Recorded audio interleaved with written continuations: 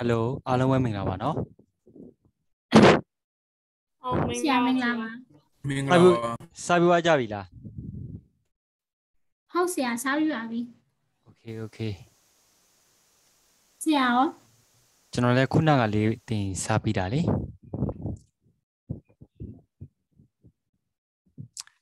ဝါစာတွေရောရနေကြပြီလား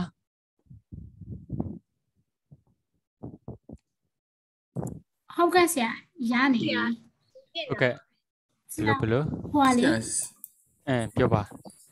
တော့ sketch ကလေဘောလုံးကန်နေဆိုတဲ့ဟာလေအဲ့ဒါလေကျွန်တော်တို့ပြန်ဆွဲပြပါလားမိတ် wise ရအဲ့ဒါကျွန်တော်လောက်ကြည့်ရမရလို့ ဖိုင်ဘောတိဖလား ဘောလုံးကန်ပြီးတော့ဟို อืมอืมလုပ်ပြမယ် ဟုတ် နော် တယ်နဲ့လေးကြားဘောလုံးကိုယူသွားတာ အဲအဲလုပ်ပြမယ်နော်လုပ်ပြမယ်ခဏလေးဒီမှာကျွန်တော်တို့ဒါရင်တန်တဲ့အရင်ခွဲလိုက်မယ်ဟိတ်ထက်စင်ရောက်ပြီလား ဟိတ်ထက်စင်ရှိလား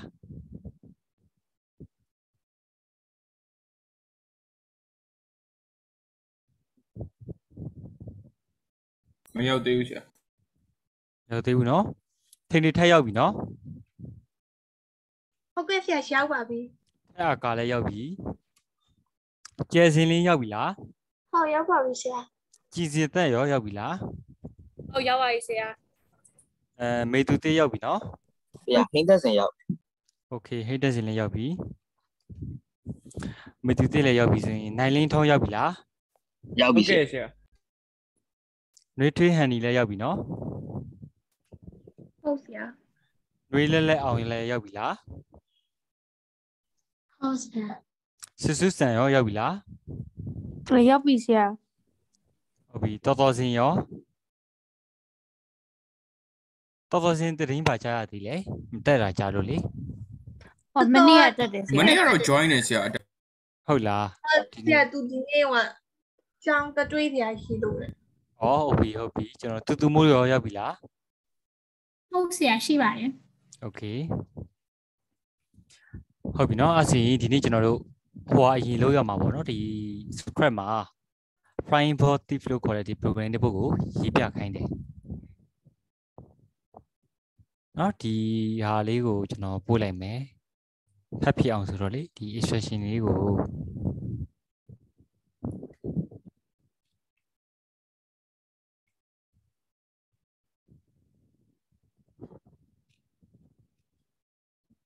နော် fiber လေးပို့လိုက်ပြီနော်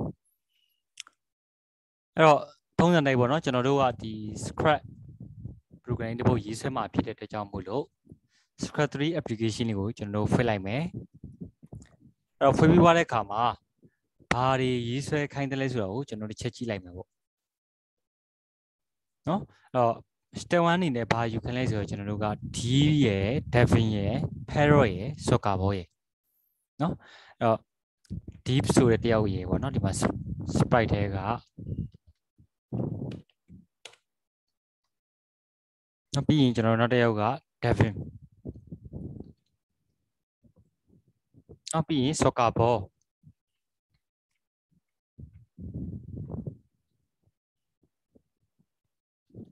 နော် soccer ball ရယ်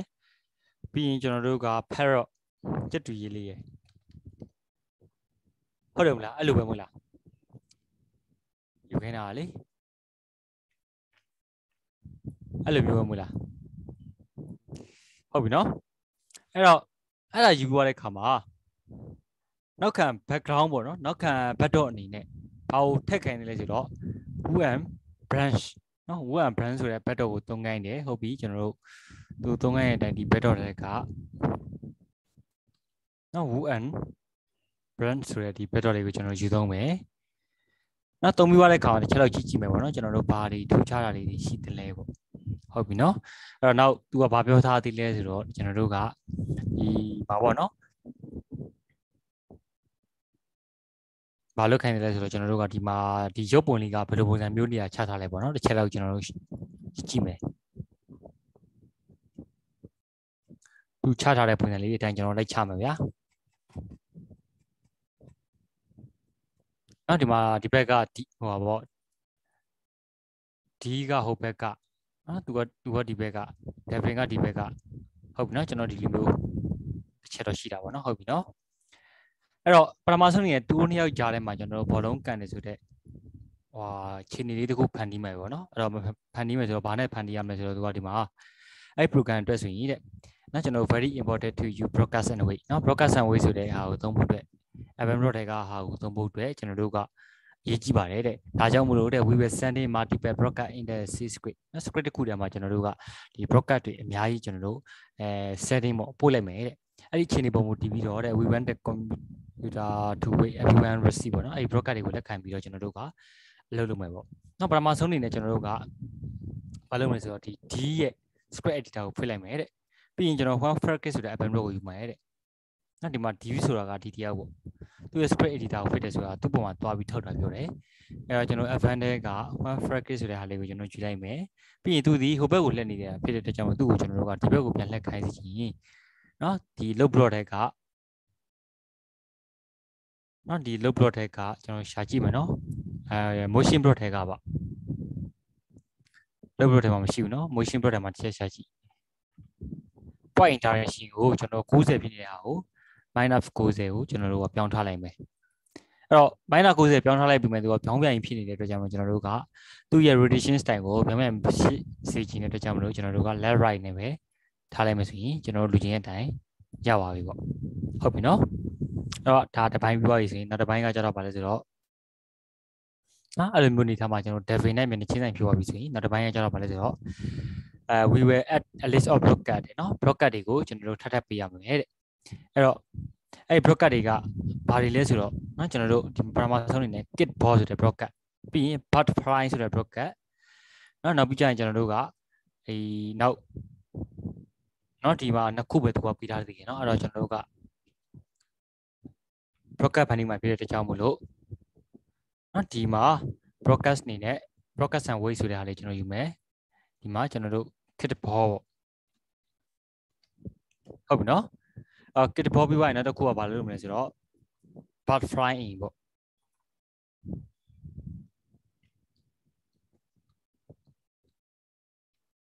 နော်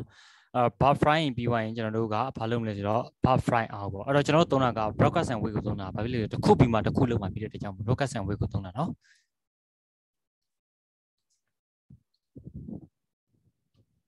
ဟုတ်ပြီနော်အဲ့တော့ဒီ broadcast တုံးခုကိုကျွန်တော်ကလွှဲလိုက်ပြီ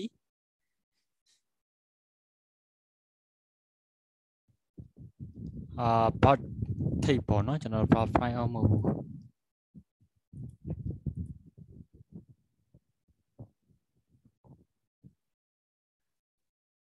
part frying ။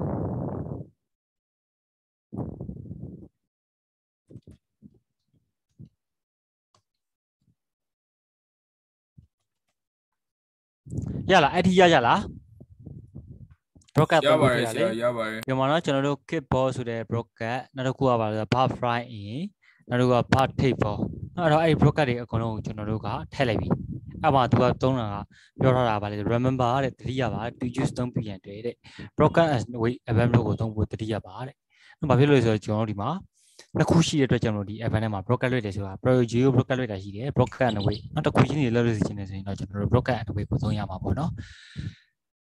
ဟုတ်ပြီကျွန်တော်နောက်တစ်ခုက step 3မှာကျတော့ဗာလဲဆိုတော့ဒီ soccer ball ရဲ့ activity ပေါ့နော် soccer ball ကိုသွားတဲ့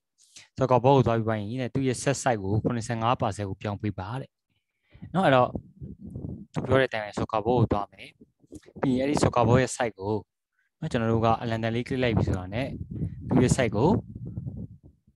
85%ကျွန်တော်တို့ပြောင်းကြည့်မယ်နော်အဲ့ဒါဆိုရင် soccer ball ကအရွယ်စားနေလေးတီးသွားပြီပေါ့အဲ့တော့အဲ့လိုပြောင်းပြီးသွားတဲ့အခါမှာ နော်ကျွန်တော်တို့ဒီဒီစာသားလေးတွေကိုကျွန်တော်ကြည့်လိုက်မယ်နော်ဒီဟာကိုကျွန်တော်ခဏဖြည့်လိုက်တော့မယ် step 3ကနေပြန်ပြီးတော့ဘီကွန်ဟောင်းတွေကဟာပဲကျွန်တော်ကြည့်လိုက်တော့မယ်နော် step 3မှာကျွန်တော်တို့က85%ပြီးသွားရင် step 4ရောက်ပါပြီအဲ့ချိန်မှာကျွန်တော်တို့ကနောက်ထပ် script တစ်ခုပေါ့နော် soccer board တွေရေးရမယ်အဲ့ဒါကဘာလဲဆိုတော့ iRC FM Pro ကိုသုံးမယ်တဲ့အဲ့ဒီ iRC FM Pro မှာ kit ball ဆိုတဲ့ဟာကိုကျွန်တော်လက်ခံရရှိပြီဆိုတာ ਨੇ တဲ့အဲ့ဒီ ball ကတဲ့နော်ဒီ Devin ရဲ့ခြေထောက်မှာရှိနေရမယ်တဲ့ပြီးရင်တဲ့နော်ကျွန်တော်တို့ အဲ go to ဆိုတဲ့ code နဲ့ကျွန်တော်သုံးပြီးရှိနေရပါဘောเนาะဒါကကျွန်တော်ဗာလဲဆိုတော့ start เนาะဒီ start iris เนาะဒီ start ball ပေါ့เนาะ kit ball ဟိုပါပေါ့ကျွန်တော်တို့ဒီမှာ broker တစ်ခုသူကလက်ခံမယ်ဟိုဘက်က broker ကိုလက်ခံလိုက်တာ ਨੇ အဲ့တော့ကျွန်တော်တို့ဒီ event dot ထဲမှာပေါ့နော် broadcast ကိုလက်ခံတာဆိုတော့ဒီမှာ one iris နော်ဒီ kit ball ဆိုတဲ့ဟာကိုလက်ခံလိုက်ပြီဆိုတာ ਨੇ ဒီဘောလုံးရက်တည်နေရသည် devin ရဲ့ခြေထောက်နာမှာရှိနေရမယ်ဆိုတော့ဒီဘောလုံးကို devin ရဲ့ခြေထောက်စီနဲ့ရွှေ့လိုက်ပြီး motion ထဲကကျွန်တော်တို့ go to ဆိုတဲ့ကောင်လေးကိုယူဒါဒီကျွန်တော်တို့ကမူလစမှတ်နော်အဲ့တော့ဒီ go to ဆိုတဲ့ကောင်ပြီးသွားပြီဆိုကျွန်တော်တို့ဘယ်သွားမလဲဒီကိုသွားမှာဖြစ်တဲ့အတွက်ကြောင့်ကျွန်တော်တို့ကဒီကိုကျွန်တော်တို့ cry 1 second ဆိုပြီးတော့ပို့လိုက်ပေါ့အဲဒါဆိုဒီမှာကျွန်တော်စမ်းကြည့်မယ်သွားပြီဟုတ်ပြီလားရမယ်နော်အဲ့တော့ဒီမှာ1 second ကကျွန်တော်နည်းနည်းလေးမြန်နေဆို2 second ပေါ့ရမယ်နော် အဲ့ဒီရလားဟုတ်နော်ဟုတ်အဲ့ဆတော့ရာဒီမှာကျွန်တော်တို့ go to နဲ့နော် grind နဲ့ပြီးသွားတဲ့ခါမှာနောက်တစ်ခါ grind ထပ်တက်ကင်တယ်သူက grind ထပ်တက်ကင်တာဘယ်သူစီကိုပြန်လာမလဲဆိုတော့ devil စီကိုပြန်လာမှာနော်အဲ့တော့နောက်တစ်ဆက်ကကျွန်တော်တို့ဒီမှာ grind ပြန်လာမယ်ဒီကိုပြန်လာမှာဖြစ်တဲ့အတွက်ကြောင့်ကျွန်တော်တို့ကနော်ဒီမှာ grind 1 second ဆိုကျွန်တော်ဒီလိုထပ်ထည့်လိုက်မယ်ဒါဆိုရင်ဒီမှာဘောလုံးကဒီကိုသွားတယ်အဲပြီးရင်ဒီကိုပြန်လာတယ်ပေါ့နော်အဲ့နေရာမှာကျွန်တော်ဘောလုံးကဒီတိုင်း draw တိုက်သွားနေတယ်ဘောလုံးကိုလဲအောင်လုပ်ရမယ့်ကုတ်လေးရှိသေးတယ် နော်အဲ့တော့ဘယ်မှာရေးခိုင်းလဲဆိုတော့ဒီမှာ step 5မှာဒီဘောလုံးကိုလဲအောင်လုပ်ရတဲ့ကုတ်လေးတွေရေးခိုင်းတယ်အဲ့တော့နောက်တဲ့ let me ball spring ပေါ့နော်ဘောလုံးကိုလှည့်တာမျိုးကျွန်တော်တို့သုံးမယ်တဲ့အဲ့တော့အဲ we want the ball ပေါ့နော်ဘောလုံးကိုတဲ့သူ spring wide gliding နော် gliding လုပ်နေတဲ့အချိန်မှာကျွန်တော်တို့လဲဖို့အတွက်ဆိုရင်တဲ့ကျွန်တော်နောက်ထပ်နော်ဒီ iris event pro တွေကိုကျွန်တော်တို့ကနော်ဒီထပ်ပြီးတော့ kick ball ကိုရေးပြရမယ်တဲ့ပြီးရင်တဲ့ကျွန်တော်တို့ different script เนาะမတူညီတဲ့ script တစ်ခုကိုရေးပြရမယ်အဲ့ဒါပဲကျွန်တော်ဒီ motion pro ထဲမှာပဲเนาะအဲကျွန်တော်တို့ဗာလဲဆိုတော့ angle လှည့်တဲ့ဟာလေးเนาะ turn ဆိုတဲ့ဟာလေး turn right နဲ့ turn left နဲ့အဲ့တော့အဲ့မှာကျွန်တော်တို့ဘာယူမလဲဆိုတော့ထုံးစံတိုင်းဒီအတိုင်းပဲကျွန်တော်တို့ထိုက်ရေးမယ်ဒီကကျွန်တော်ရေးမှာကเนาะဒီ kick ball ကိုလက်ခံတာတော့မှန်ပြီဘောလုံးကိုလဲခိုင်းမှာဖြစ်တဲ့အတွက်ကြောင့်မို့ကျွန်တော် turn နဲ့ turn နဲ့ဒီလိုမျိုးရှိမယ်ရမလား နော်ဒီ motion ထဲမှာ turn right တော့စမ်းကြည့်မယ်အချိန်ပဲလှုပ်လှုပ်ရနော်အဲ့တော့အချိန်ပဲလှုပ်လှုပ်ရဆိုကျွန်တော်နောက်တစ်ချိန်သွားပြီးကြည့်မယ်သူကဘာပြောထားလဲဆိုတော့လေအဲ number of repeat until the ball spin in the right amount on time တဲ့နော်ကျွန်တော်တို့အချိန်ရည်တွက်ပါကျွန်တော်တို့ရည်တွက်ပြီးတော့ထပ်ပြရမယ်အဲ့တော့ဘာနဲ့သုံးမလဲဆိုတော့ကျွန်တော်ထုံးစံတိုင်း control ထဲက repeat ကိုသုံးမယ်နော်10ချိန်ကျွန်တော်တို့ရည်တွက်ပြီးသွားခိုင်းကြည့်မယ်ဒီမှာနော်10ချိန်မရဘူး နော်ချိန်နေဆက်ကျွန်တော်တို့သွားခိုင်းမယ်နော်ချိန်နေဆက်လည်းမရသေးဘူးနည်းနည်းလေး draw နေသေးရဲ့အဲ့ဒါဆိုရင်ကျွန်တော်တို့ကနော်ဒီမှာ25ချိန်သွားခိုင်းကြည့်မယ်နော်25ချိန်ဆိုရင်အဆင်ပြေသွားပြီပြေသွားပြီဆိုရင်ကျွန်တော်ဒီတိုင်းပဲနော်ဒီ repeat ဆိုတဲ့ဟာကိုကျွန်တော်ထပ်ယူမယ်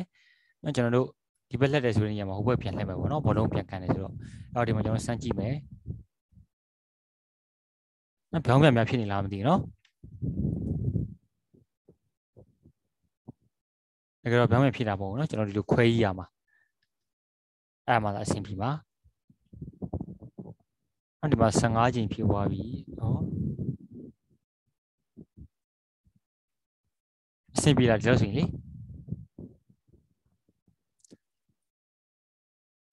25ဝင်နဲ့ကျွန်တော်တို့30လောက်ထားကြည့်လိုက်မယ်ဘယ်လိုနေတယ်လဲပေါ့ နော်အဲ့တော့30လောက်ထားလိုက်တော့အဆင်ပြေသွားရယ်နော် draw မတိုက်တော့ဘူးအဲ့တော့အဲ့လိုအခြေအနေမှာပေါ့နော်ဒီ Devin ရဲ့ခြေထောက်ကိုရောက်သွားတဲ့အခြေအနေမှာဘာပြန်လုပ်မလဲဆိုတော့ဒီ step 6ကိုရောက်သွားပြီအဲ့မှာကျွန်တော်တို့ဒီ parrot ရဲ့ switch editor လေးကိုဖွင့်လိုက်မယ်ဖွင့်လိုက်ပြီးတော့သူကဘာလုပ်မလဲ the first thing we need is the part to be hiding at the beginning of your program เนาะကျွန်တော်တို့ရဲ့ program စမှာဒီ bug ကိုကျွန်တော်တို့ကဖျောက်ထားရမယ် เนาะအဲ့တော့ဖျောက်တယ်ဆိုတာကဘာနဲ့ဖျောက်တယ်လဲဆိုတော့ကျွန်တော်တို့ဒီ buff ကိုသွားမယ်ဒီ load block တွေက hide ဆိုတဲ့ဒီ code block နဲ့ဖျောက်တယ်เนาะပြန်ဖော်တာကဘာနဲ့ဖော်လဲ show ဆိုတဲ့ code block နဲ့ပြန်ဖော်တယ်အဲ့ဒီနေ့ခုလုံးကျွန်တော်ခဏလောက်ထားထားလိုက်အောင်မယ်ဘာလို့ရမလဲဆိုတော့ကျွန်တော်မသိသေးဘူးအဲ့တော့ we can also go to the program ဟင်းတော့เนาะနောက်ကသူက instruction လေးတွေပေးရတယ်အဲ့မှာဘာထက်ထက်ကန်လဲဆိုတော့ one practice ဆိုတဲ့ app ကိုသုံးခိုင်းတယ်ပြီးရင်ကျွန်တော် hype လုပ်တော့ကိုထက်ခိုင်းတယ်ပြီးရင်ကျွန်တော် forever ကိုသုံးခိုင်းတယ် နောက်ပြီးရင်ကျွန်တော်တို့ကဒီ next concern ပေါ့နော် forever next concern ဆိုတဲ့ code လေးကိုသုံးခိုင်းတယ်ဆိုလို့ချင်းကဒီ hype ကိုကျွန်တော်မသုံးသေးဘူးနော် hype ကိုသုံးလိုက်မယ်ဆိုကျွန်တော်တို့ကပြတ်သွားတဲ့ခါကျရင်နည်းနည်းလေးနော်ဒီ administration လုပ်ရတာပြင်ပန်းတော့လေဒီလိုမျိုးကျွန်တော် one practice ဆိုတဲ့အားကိုယူမယ်ပြီးရင်ဒီ load plot တွေကအာ next concern ဆိုတာယူမယ်အဲ့ဒီ next concern ကိုတကယ်မှဆိုကျွန်တော် height ပြီးမှ next concern ကိုယူရမှာပေါ့နော်အဲ့တော့ဒီနေရာမှာကျွန်တော် height မသုံးသေးဘူး height ကိုခဏလေးဖယ်ထားလိုက်အောင်မယ်အဲ့ next concern ကိုဘယ်ထဲထည့်မလဲဆိုတော့ဒီ forever ထဲကိုထည့်မယ် နော်အဲ့အခါကျရင်ဘယ်လိုဖြစ်လာမလဲဆိုတော့ကျွန်တော်ဒီမှာငါကဒီလိုပြန်လာမယ်ဟုတ်ပြီနော်အဲ့တော့ဒီငှက်ပြန်တဲ့အနေထားမှာလည်းကျွန်တော်တို့ကတစ်ခုရှိတာကဘာလို့လဲဆိုတော့ weight နော် weight ဆိုတဲ့ code block လေးကိုသူကထပ်ပေးဖို့ပြောထားတယ်အဲ့အတွက်ကြောင့်ကျွန်တော်တို့ကဒီ weight ဆိုတဲ့ code block လေးမှာနော်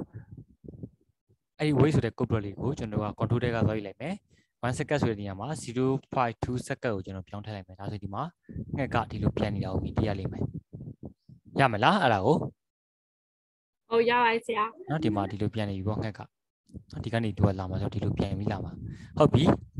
အဲ့တော့အဲ့မှာကျွန်တော်တို့ကဘာထပ်ကြည့်မလဲဆိုတော့လေဒီမှာနော်ဒီဟောပေါ့ကျွန်တော်တို့ဒီမှာငှက်ကနေပြီးတော့ပေါ့နော်ဒီ new script ပေါ့နော်ငှက်ကနေပြီးတော့ကျွန်တော်တို့ဒီ event block တစ်ခုကိုလက်ခံရရှိပြီဆိုတာ ਨੇ နော် bug frying ဆိုတဲ့ event block တစ်ခုကိုလက်ခံရရှိပြီဆိုတာ ਨੇ ကျွန်တော်တို့ဒီမှာဘယ်နေရာကနေစပြီးတော့သွားမလဲဆိုတဲ့ machine block ကိုကျွန်တော်တို့ကထည့်ရမယ်ပေါ့နော်အဲ့တော့အဲ့အတွက်ကျွန်တော်ဒီ bug နဲ့ပတ်သက်တဲ့ code block မှာပဲနောက်နောက်ထပ်ကျွန်တော်တို့ code block တစ်ခုရေးမယ်ပေါ့နော်အဲ့တော့ဒီမှာကျွန်တော်အဆင်ပြေနေပြီဆိုတော့ဒီမှာကျွန်တော်တို့ကခဏလောက် hype ကိုအပေါ်ထည့်လိုက်မယ်ပြီးရင်သူရေးခိုင်းတဲ့ code block တွေရပါတော့ဒါတွေကျွန်တော်ဖတ်ပြီးတော့ရေးလိုက်မယ်ဆိုရင် show ဆိုတဲ့ကောင်ကိုလည်းထည့်ရမယ်ပြီးရင်ကျွန်တော်တို့ကဒီဟာလည်းထည့်ရမှာပေါ့နော်ဒီမှာ let's see fry in ဆိုတဲ့နော်ဒီ bug fry in ဆိုတဲ့ code block လေးကိုလက်ခံရရှိပြီဆိုတော့ ਨੇ ငှက်ကိုကျွန်တော်ဖော်ပြလိုက်မယ်ရုပ်တရက်ချိန်နေမှာပေါ့နော်ဒါပထမဆုံးချိန်နေမှာဖျောက်ထားမယ်အဲ့တော့ fry in ဆိုတဲ့ချိန်နေမှာသူကဘာပြန်လုပ်မလဲဆိုတော့ခုနကပြောတဲ့ဒီနော်ဒီ code block လေးကိုကျွန်တော်စပြီးတက်သိမယ်အဲဒီနေရာကစမှာဖြစ်တဲ့အတွက်ကြောင့်ကျွန်တော်တို့ကလုပ်ထဲကနေပြီးတော့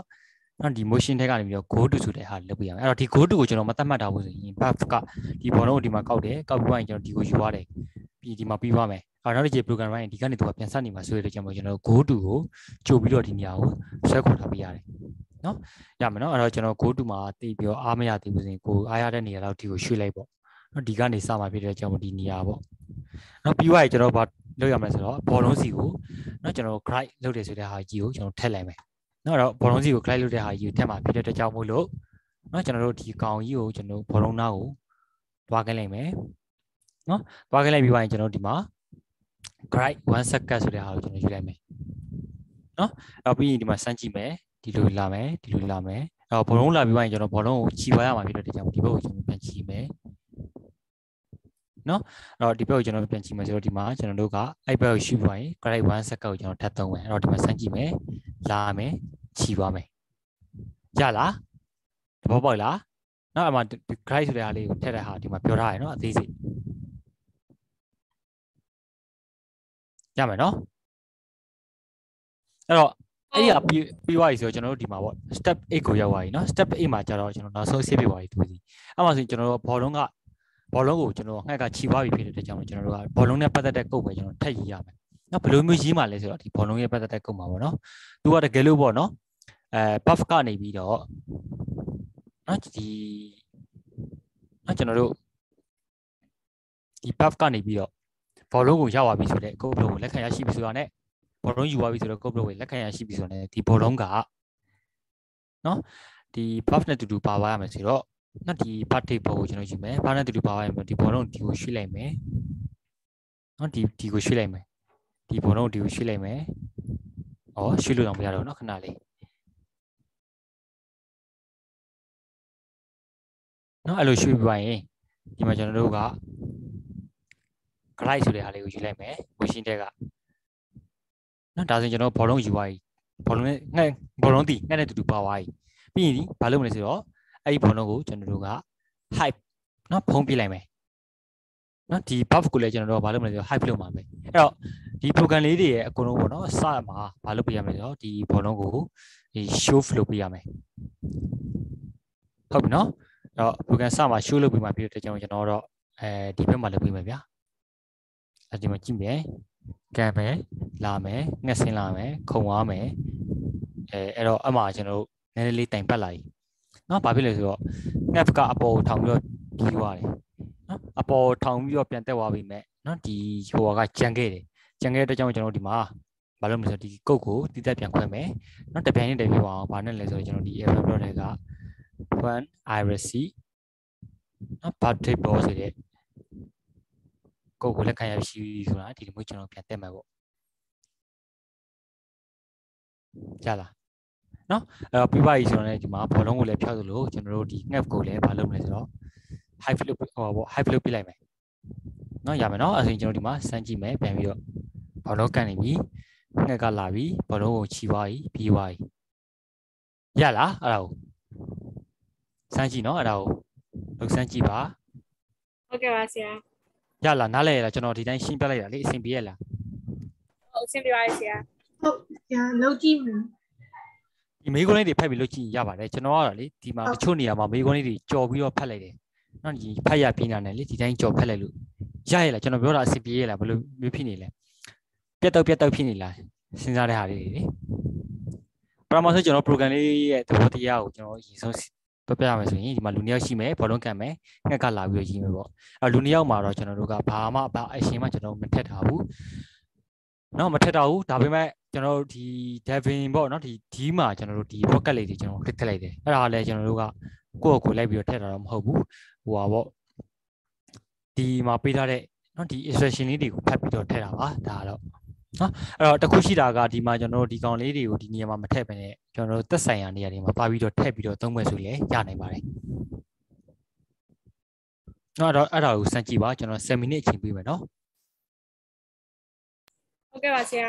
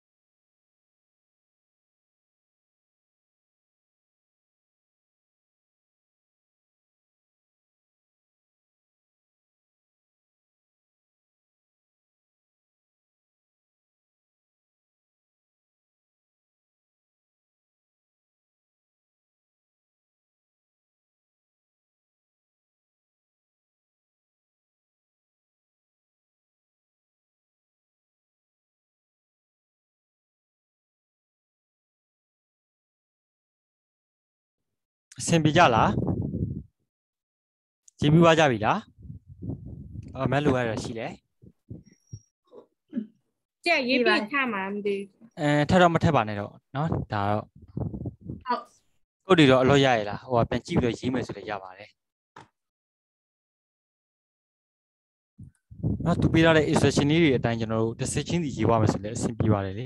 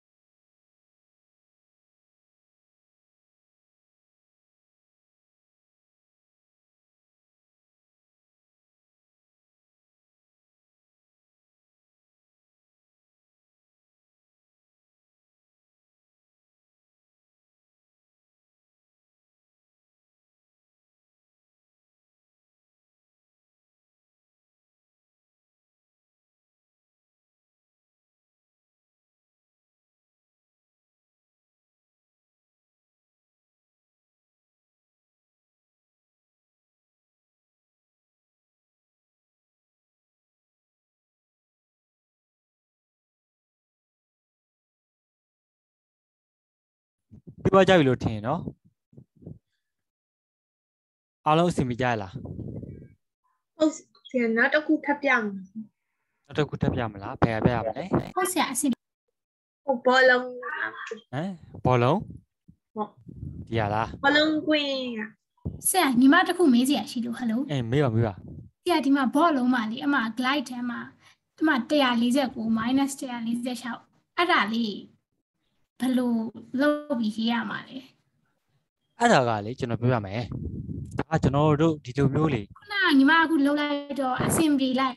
မလဲလိုက်ဘူးပြီးတော့ဆရာဟာကိုကြည့်ပြီးတော့အဲ့လိုနံပါတ်တွေထဲတော့မှအဆင်ပြေသွားတာ ကျွန်တော်ပြောပြမယ်ဒီနံပါတ်တွေကကျွန်တော် ဟုတ်လား အလော့ချက်စရာ ဘယ်လို မလိုဘူးเนาะအလော့ချက်စရာမလိုဘူးကျွန်တော်တို့ကဒီမှာတရားနှစ်ခုကျွန်တော်ခဏထားလိုက်အောင်ဘောလုံးတစ်လုံးပဲရောက်ပါပြီလေเนาะ ဒီမှာနော်အော်ဘောလုံးကမရောက်နေတာလေဒီမှာဘောလုံးဒီကိုရောက်နေတယ်ဒီမှာနော် तू ကဘောလုံးကန်တယ်နော်ဒီဘောလုံးကိုဒီနေရာမှာကျွန်တော်နေရာချလိုက်တယ်အဲ့တော့နေရာချလိုက်ပြီဆိုတော့ねကျွန်တော်ဘာတွေကပြောင်းလဲနေလဲဆိုတော့ဒီသူ့ရဲ့တီနီယာကိုဖော်ပြတဲ့နော် coordinate ဆိုတဲ့ဟာရှိတယ်အဲ့ဒါကဘာလဲဆိုတော့ h1u နဲ့ y1u ပဲနော်အဲ့တော့ သူ့ရဲ့ဒီ script မှာ coordinate system ရှိတယ်လို့မျိုးကျွန်တော်တို့ small basic programming language မှာလည်း coordinate system ဆိုတာရှိတယ်အဲမတူတာတစ်ချက်ကတော့ဒီ script မှာသုံးတဲ့ coordinate system က Cartesian coordinate system လို့ခေါ်တယ်နော်ဘာဖြစ်လို့ Cartesian လို့ခေါ်လဲဆိုတော့သူ့မှာကျွန်တော်တို့အနှုတ်ကိန်းတန်ဖိုးလေးတွေရှိတယ်နော်ဒီ small basic မှာကျတော့အနှုတ်တန်ဖိုးလေးတွေမရှိဘူးအပေါင်းတွေပဲရှိတယ်အဲ့တော့ဒီမှာဆိုရင်ဘောလုံးကိုကျွန်တော်ကြိုက်တဲ့နေရာမှာချနော်ကျွန်တော်ကဘောလုံးကိုဒီနေရာမှာချချင်တယ်အဲ့တော့ဒီနေရာသည် နော်ဒါကမူလစတဲ့နေရာဒီနေရာကနေသူ့စီကိုကန်မယ်ပြီးမှသူ့စီကိုပြန်ကန်မယ်ဆိုတော့ကျွန်တော်ကဘောလုံးကဒီမှာရှောက်ပြီးတော့ဒီနေရာလေးတွားရင်တွားနေမယ်ဗျာကျွန်တော်ကိုချချင်တဲ့နေရာကိုဒီလိုမျိုးသွားရွေးလိုက်တာ ਨੇ ဒီမှာရှိတဲ့တန်ဖိုးလေးတွေကပြောင်းသွားတယ်နော်အဲ့တော့ခုနကပြောတဲ့ HMU1 ကိုကျွန်တော် logic စရာမလိုဘူးကျွန်တော်တို့ဒီမှာလက်ကြည့်ဒီ motion ထဲမှာလေ go to to guide တော့ဒီ coordinate point လေးတွေလက်ကြည့်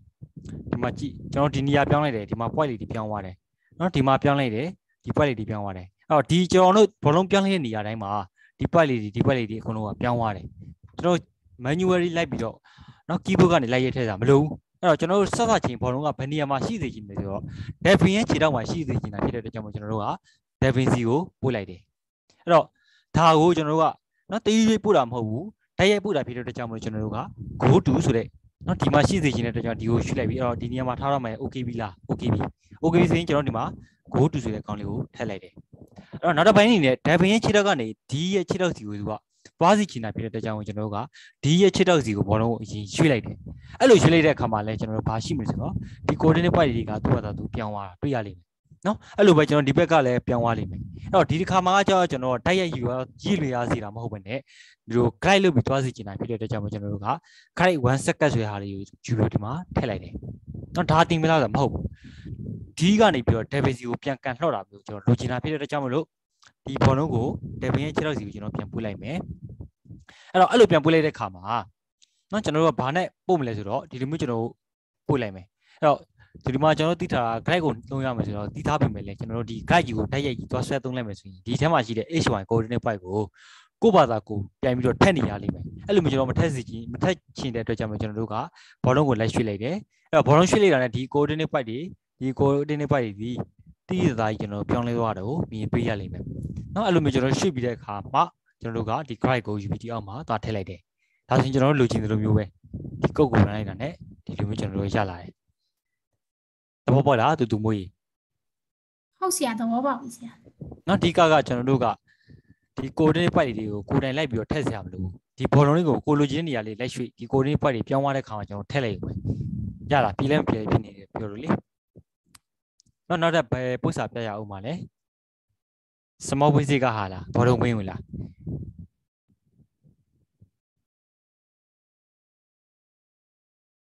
ဟယ်လို ခုနကဘာဘယ်ပြရအောင်ပါလဲတကူကူပြခိုင်းလိုက်တယ်လို့ပဲကျွန်တော်ကိုလေ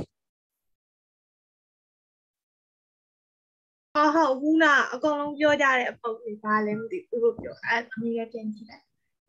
ပုတ်လေဒီမိကုန်းထဲမှာပါတယ်မလားဟု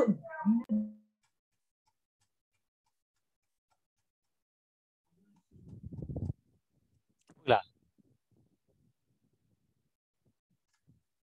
ရဒီရလားဟယ်လိုဒီကောင်းလားအော်ဟုတ်ဆရာဘယ်ရဒီရလေးလားအဲ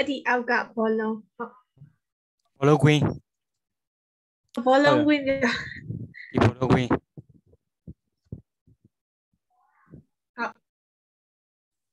အောက်ကဘောလုံးဟုတ်ဘောလုံးကွင်းဘောလုံးဝင်ကြဒီဘောလုံးကွင်းဟုတ်အဲ့တော့ကျွန်တော်တို့ကဒါကိုဆွဲပြတ်ရင်ကောင်းမလားဒါမှမဟုတ်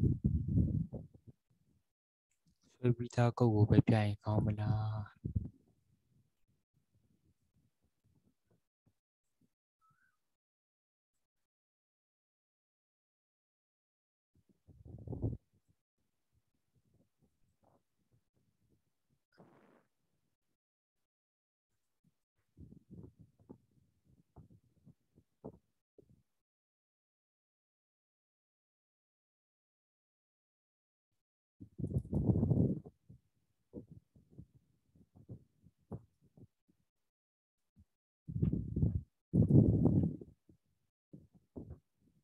ခဏရယ်နော်ကျွန်တော်တို့ဒီမှာ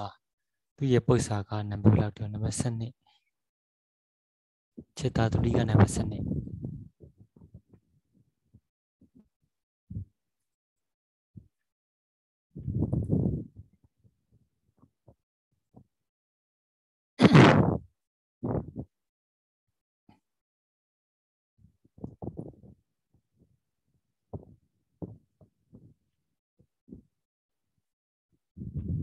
တော်လေးထင်တယ်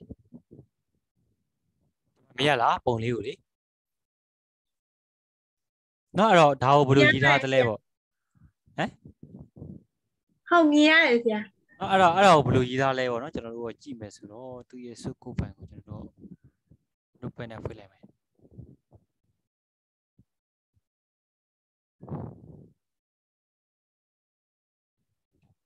အဲ့တော့ဒီပု္ပ္ပာကကြတော့လေဒီဘောလုံးဝင်းပုံစံကကြတော့လေကျွန်တော်တို့ကဘာနဲ့ရည်တယ်လဲဆိုတော့ small business နဲ့ရည်တယ်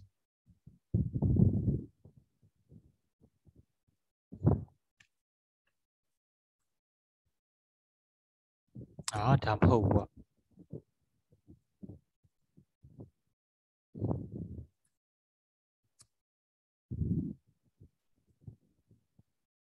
ကော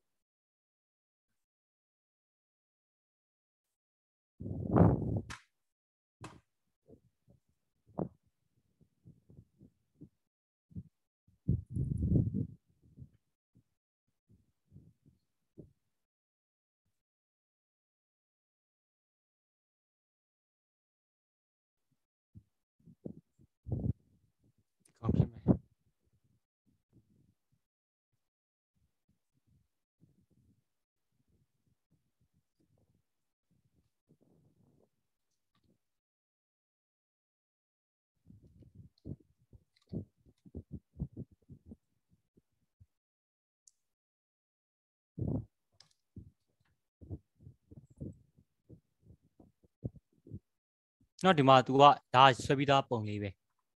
အဲ့တော့ तू ဘယ်လိုဆွဲသားလဲပေါ့နော်ကျွန်တော်နင်းနေကြည့်မယ်သူ့မှာကျွန်တော်ခွဲထားတာကဘာတွေခွဲထားလဲဆိုတော့ကျွန်တော်တို့က green free တဲ့နော်ကျွန်တော်အစိမ်းရောင် queen bee ကို तू ကထားတယ်ပြီးရင် left ကို right ကိုပြီးရင် center ပေါ့နော်ပြီးရင် four corner တဲ့အဲ့တော့ ဘာလို့ဆိုလိုတာလဲဆိုကျွန်တော်တို့က green free ဆိုတာကဒီတကွက်လုံးကိုကျွန်တော်တို့ green free လို့သူကပြောလိုက်တယ်အဲပြီးရင်ကျွန်တော်တို့ left goal ဆိုတာကဒီဘက်ဘက်ကဒီဂုံးကြီးကိုသူကဆွဲတယ်ပြီးရင်ညာဘက်ကဒီ goal ဆွဲတယ်ပြီးမှကျွန်တော်တို့လဲ center ကိုသူကဆွဲတာပေါ့ပြီးရင်ကျွန်တော်တို့ဒီမှာ corner ပေါ့နော်4 corner ဒီ corner လေးတွေကိုသူကဆွဲတယ်ဲ့တော့အဲ့လိုမျိုးဆွဲဖို့ဆိုကျွန်တော်တို့ပထမဆုံးအနေနဲ့ဘာကိုသိဖို့လိုအပ်တယ်လဲဆိုတော့ဒီသူတို့ရဲ့ coordinate point တွေကိုကျွန်တော်တို့သိဖို့လိုအပ်တယ်။အဲ့တော့သူ့ရဲ့ coordinate point ကိုသိအောင်ကျွန်တော်ကဘာလုပ်မလဲဆိုတော့ ပုံလေးကိုကျွန်တော်သွားယူလိုက်မယ်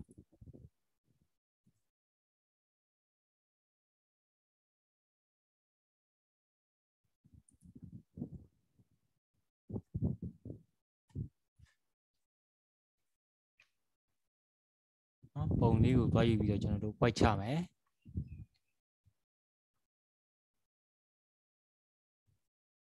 အဲ့တော့ तू က ဘယ်လောက်တွေယူထားတယ်လဲဆိုတော့20 20လို့ယူထားရနော်ဒီမှာ frame rectangle 20 20လို့ယူထားတယ်20 20ဆိုတော့ကျွန်တော်တို့ဒီမှာချက်ကြည့်မယ်နော်သူတို့ရဲ့ပုံ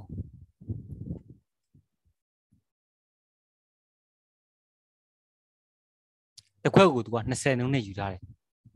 နော်အဲ့တော့ကျွန်တော်ဒီနေရာကို0ပေါ့နောက်ပြီးဒီဟာကို20နော်ပြီးရင်ဒီမှာ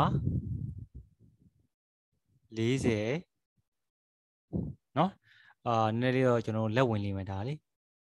အဲ60 80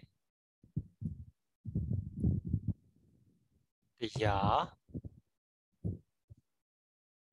တရား20တရားနဲ့မှ40တရား60 တရားနဲ့မှ80 200 220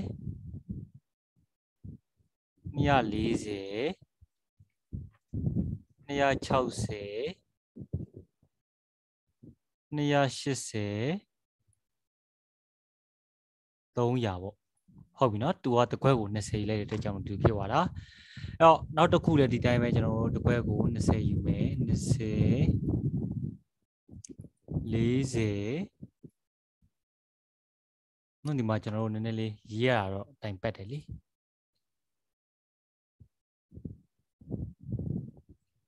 နော် mouse နဲ့ရေးနေရတော့လေ40 60 80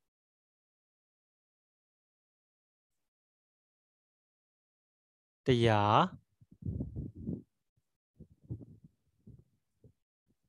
တရား20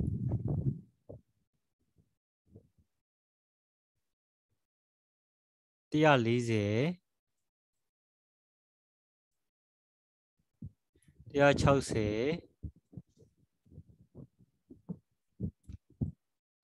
တရား80 200 220เนาะကျွန်တော်210မပါဘူး220 200ထဲမှာ40เนาะအဲ့တော့အဲ့ဒါလေးကျွန်တော်နည်းနည်း screenshot လေးရိုက်ထားလိုက်မယ်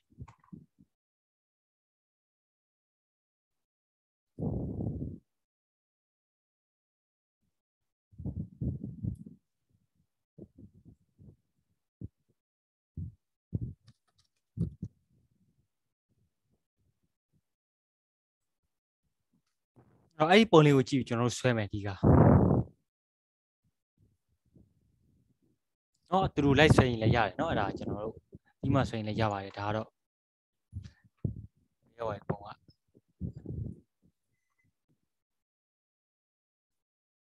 ရေးရောက်နေလားမသိဘူးခဏရေเนาะဘယ်နှရောက်နေလဲမသိဘူ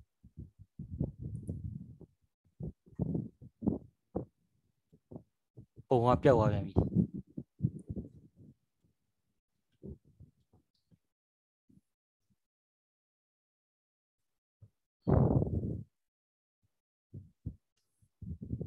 တော့ဒီမှာဒီမှာဘိုင်ဘာတဲ့ပို့ပေးလိုက်မယ်နော်ဟုတ်ကဲ့ဆရာပို့ပေးလိုက်ပြီအခုအကျန်းကြီးထားတဲ့ဟာတွေပေါ့အဲ့တော့အဲ့မှာကျွန်တော်တို့ကနော်ဒီ new tab ကိုခွဲလိုက်မယ်ပထမဆုံးအနေနဲ့ကျွန်တော်တို့နောက်ခံ green ရောင်နော်အစိမ်းရောင် free တခုတုံးကျွန်တော်တို့ဆွဲမှာဖြစ်တဲ့ကျွန်တော်တို့ green free လို့ကျွန်တော်ရေးလိုက်မယ် ဒါကတော့ကျွန်တော်တို့က format ချက်ချက်ရေးတာပေါ့နော်ဒီဆောင်ဝဲကြိုက်တာတွေကျွန်တော်မရေးလိုက်ရတယ်ကိစ္စမရှိဘူးဒါကတော့အဲကျွန်တော်တို့ဒီစိမ်းရောင်နောက်ခံကိုဆွဲမှာဖြစ်တဲ့ကြောင့်နောက်ခံကဘာပုံစံဖြစ်နေလဲဆိုတော့ကျွန်တော်တို့က rectangle ပေါ့ထောင်းမှန်စတုကပုံဖြစ်နေတယ်အဲ့ဒါကြောင့်ကျွန်တော်ဒီအတိုင်းဆွဲမယ်အဲ့တော့ကျွန်တော်ဘာနဲ့ဆွဲရမလဲဆိုတော့ဒီ frame triangle နဲ့ဆွဲဖို့လိုအပ်တယ်နော်သူကဘာလဲဆိုတော့ဘေးမှာကျွန်တော်အနက်ရောင်မြင်းကြောင်းလေးမပေါ်ဘူးအဲ့ဒါကြောင့်ကျွန်တော်တို့ကနော် graphic window .frame triangle နဲ့ကျွန်တော်တို့ဆွဲမယ် အဲ့တော့အဲ့လိုဆွဲဖို့တဲ့ကျွန်တော်ဘာသိဖို့လိုလဲဆိုတော့ပထမဆုံးနေ coordinate မှတ်သိဖို့လိုတယ်နော်အဲ့တော့ဒီမှာ graphic window frame rectangle ပြီးကျွန်တော်ဒီမှာ hy coordinate ကဘယ်လောက်လဲပေါ့နော်အဲ့ဒီ rectangle ရဲ့ရှိနေနေရက hy 20 y 20အဲ့ဒါကြောင့်မလို့သူစီ20 20ပေါ့ဟုတ်ပြီ20 20ပြီးသွားတဲ့ခါမှာသူ့ရဲ့ နော်သူ့ရဲ့အလျားကဘယ်လောက်လဲတကွက်ကို20ဆိုတော့20 40 60 80 100 120 140 160 180 200 220 240 260ပေါ့နော်သူ့ရဲ့အလျားက260နော်အနံကဘယ်လောက်လဲဆိုတော့တွားရည်ကြည့်မယ်ဆိုရင်အနံက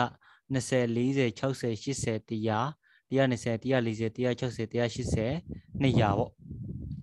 အဲ့တော့အဲ့ဒါကိုကျွန်တော်200လို့ဆွဲလိုက်မယ် ဟုတ်လားပေါ့နော်ချက်ကြည့်လိုက်တော့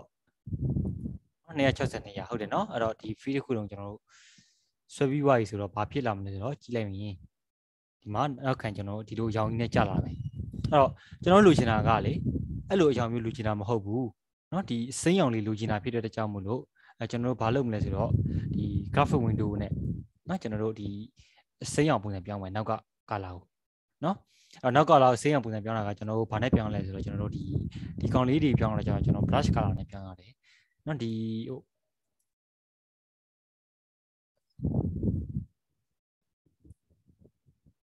ဒီမှာကျွန်တော် graphic window.brush color နဲ့ပြောင်းမယ်အဲ့တော့ကျွန်တော်တို့ကဟာခဏရေနော်ဒီပေါ်မှာမဆွဲခင်မှာကျွန်တော်တို့က graphic window.brush color equal gre and green ဆိုကျွန်တော်တို့ကအစင်းရအောင် ပြောင်းပေးလိုက်မယ်ဒါဆိုကျွန်တော်တို့ဒီမှာ run ကြည့်မယ်ဒီမှာမြင်ရလားအာဟုတ်တယ်ဟုတ်နော်အဲ့တော့ရတော့ရတယ်ဒါပေမဲ့ကျွန်တော်တို့ကနည်းနည်းလေးအရောင်ကတားရစ်နေတယ်အဲ့တော့နည်းနည်းလေးကျွန်တော်ပြောစီချင်တယ်ဆိုရင်နော် light green ဆိုပြီးကျွန်တော်ရည်ကြည့် light green ဆိုတာလည်းနည်းနည်းလေးရောင်ကပို့ပြီးတော့ဟိုပါဖြစ်သွားပြီနော်ကျွန်တော်တို့က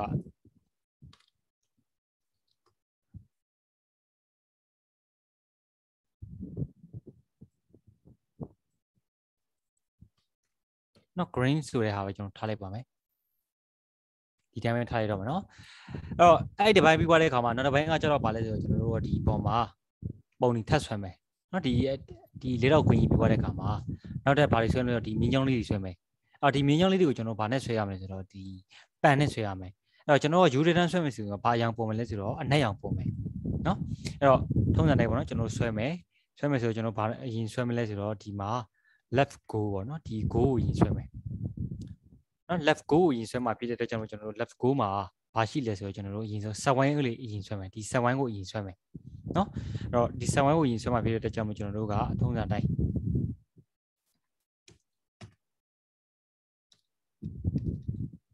နော်ဒီ left go လို့ကျွန်တော်တို့ကဒီမှာခွဲလေးရေးလိုက်မယ်နော်အဲ့တော့အဲ့ set wine ကိုဆွဲမှာဖြစ်တဲ့ကြောင့်အဲ့ set wine ရဲ့နေရာကဘယ်လောက်ရှိတယ်လဲဆိုတော့ကျွန်တော်တို့က ဒီမှာပေါ့ဒီ set wine လေးပေါ့အော်ဒီ set wine လေးကိုကျွန်တော်တို့ကဒီမှာ imaginary ပေါ့နော်စိတ်ကူးညီပြီးတော့ကျွန်တော်တို့ဒီနေရာမှာနည်းနည်းလေးဖြည့်ပြီးတော့ဆွဲလိုက်မယ်ဒီနေရာတော့ဒီအော်အဲ့တော့ဒီနေရာကဘယ်လောက်ရှိလဲဆိုတော့ကျွန်တော်20 100ပေါ့နော်20 100လောက်ရှိမယ်ပေါ့အဲဒီနေရာမှာကျွန်တော်စိတ်ကူးညီပြီးကြည့်လိုက်မယ်ဆို20 100လောက်ရှိမယ်ပေါ့ရလားတဘောပေါက်လားကိုယ့်ကိုဒီမှာဆွဲလိုက်တယ်ဗျာကိုယ့်ကိုဒီဝိုင်းပြလိုက်တယ်အဲ့တော့ဒီမှာရှိမှပြတဲ့အတွက်ကျွန်တော်ဒီဆန်ဝိုင်းလေးရဲ့ကိုလေးမှဒီ20 100ပေါ့ဟုတ်ပြီသူ့ရဲ့အလဲကဘယ်လောက်လဲ တကွက်ကို20ဆိုတော့ကျွန်တော်တို့က20 40 60ပေါ့60 60 40ပေါ့နော်20 100 60 40ပေါ့အဲ့တော့အဲ့ဒါမှန်လားမမှန်လားပေါ့နော်ကျွန်တော်တို့ဆွဲကြည့်မယ်အဲ20 100 60 40ဆိုတော့ကျွန်တော်တို့က graphic window dot draw equal ဆိုပြီးတော့ကျွန်တော်တို့20 100 60 40ဆိုကျွန်တော်တို့ယူလိုက်မယ်ဒါဆိုရင်ဘာဖြစ်သွားမလဲဒီနေရာမှာကျွန်တော်စဝိုင်းလေးတစ်ဝိုင်းရလာမယ်အဲ့တော့ကိုလိုချင်တာဒီတိုင်းပုံဝင်လာပေါ့နော်အဲအဲ့လိုမျိုးမဟုတ်ဘူးကျွန်တော်နည်းနည်းလောက်ဟိုလိုချင်နေဆိုရင်ကျွန်တော်တို့ဒီမှာ40 60ပြန်ပြောင်းလဲပေါ့အဲဒါဆိုရင်ဘယ်လိုပုံစံဖြစ်အောင်လဲဆိုဒီလိုပုံစံဖြစ်အောင်ပဲအဲ့ဒီပုံမှာမှကျွန်တော်တို့လေတခုစဉ်းစားရရှိတဲ့ကဒီပုံမှာကနော်ကျွန်တော်တို့ ဒီမင်းချောင်းလေးကိုအနဲ့ရောက်နေမလို့ခြင်းဘူးဖြူနဲ့လိုချင်တာဖြစ်တဲ့အတွက်ကြောင့်မို့ဒီပုံမှာဟိုးပေါ်ဆုံးမှာနော်ဒီ brush color ပြီးတာနဲ့ကျွန်တော်တို့က graphic window dot pan color ဆိုပြီးကျွန်တော်တို့ဒီမှာ white လို့ပေးထားလိုက်မယ် white ဆိုတာအဖြူရောင်ပေါ့ဒါဆိုရင်ကျွန်တော်ဘာပြောင်းသွားမလဲဆိုတော့ဒီမှာအဖြူရောင်လေးပြောင်းသွားလိမ့်မယ်ရလားအဲ့ဒါသဘောပေါက်လား တခုရှိတာကဒီမှာလေကျွန်တော်တို့တရားဆိုတော့လေတအားကြီးကျွန်တော်အောက်ကျတယ်လို့ခံစားနေရတယ်နော်လဲစန္ဒမကြပါနဲ့ဒီလောက်မှကျွန်တော်တို့အနေထားမှန်မှထင်တယ်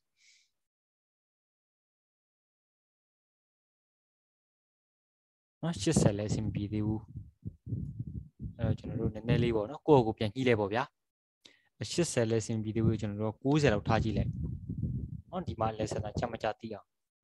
နော်90လောက်ထားကြည့်လိုက်တော့နည်းနည်းလေးလဲစန္ဒကြတဲ့သဘောပဲမှာရတယ်အဲ့တော့ဒါတော့ကိစ္စမရှိပြီးမှကျွန်တော်ပြန်ပြောင်းလို့ရတယ်နော်ဟုတ်ပြီကျွန်တော်နောက်တစ်ခုကပါလေဆိုတော့ဒီ rectangle ပုံစံလေးဆွဲမယ်အဲ့တော့အဲ့ rectangle ကဘယ်မှာရှိတာလဲဆိုတော့ကျွန်တော်ဒီမှာဆိုရင်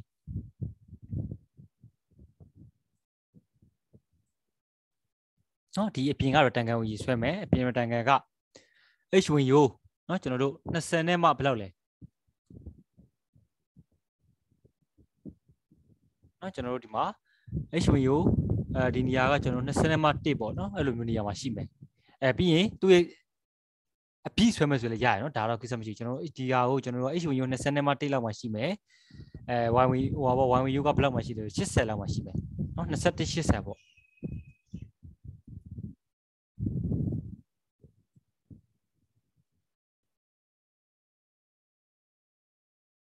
2080တဲ့ နော်2080မို့2080ပဲယူရနော်2080မှာရှိမယ်သူ့ရဲ့ဟွာကကျွန်တော်တို့ကအလဲရက20အနံကတစဟွာအလဲရက40အနံက20 40 60 80အနံက80နော်အဲ့တော့သူ့ရဲ့ကုတ်ဒီကျွန်တော်ဘယ်လိုဖြစ်ပါမလဲဆိုတော့အာဒီလိုမျိုးကကျွန်တော်တို့နော်ဒီလိုမျိုးဖြစ်ပါမယ်အဲ့ဒါယူလိုက်တာဒီသဘောပေါက်ရဲ့လား ဟယ်လိုကြားရလားဟုတ်ကြာကြည့်နေဆရာ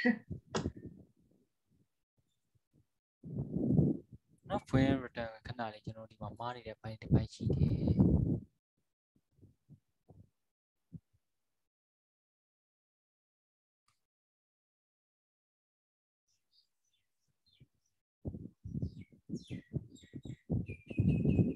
40 80နော်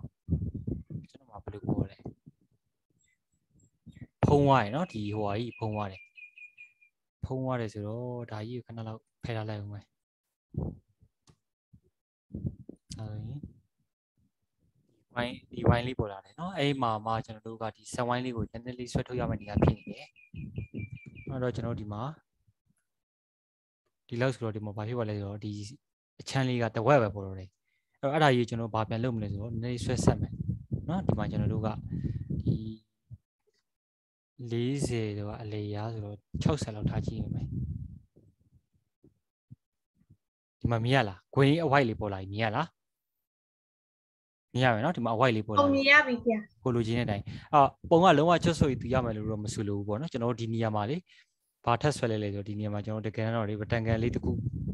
နော် frame ရတန်ကန်အစိမ်းအောင်ကျွန်တော်တို့တန်ကန်လေးတစ်ခုထပ်ထက်လိုက်တာနော်ဒီနေရာမှာသူကထပ်ဖိလိုက်တာအဲ့ဒါမှသာဒီစဝိုင်းကြီးက ဝိုင်းတဝိုက်တဲ့ပုံမှာနော်အဲ့တော့ထားပါတော့အဲ့ဒါကို